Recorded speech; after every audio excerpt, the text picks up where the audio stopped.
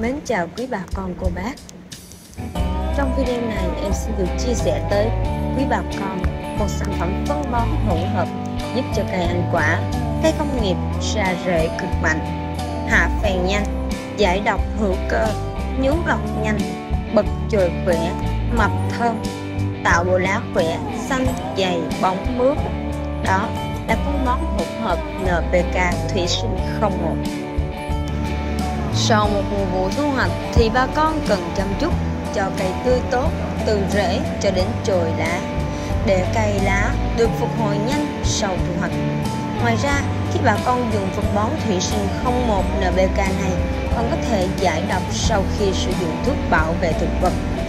Đối với cây ăn quả như sầu riêng, sabo, mít và các công nghiệp, cà phê, tiêu, điều bà con pha 20 đến 25 ml cho bịch 19 đến 25 lít nước hoặc 250 ml cho 220 lít nước.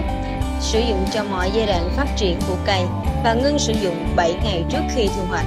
Mọi thắc mắc về sản phẩm, bà con vui lòng liên hệ tới hotline 0776 400 038 hoặc truy cập website kỹ vn.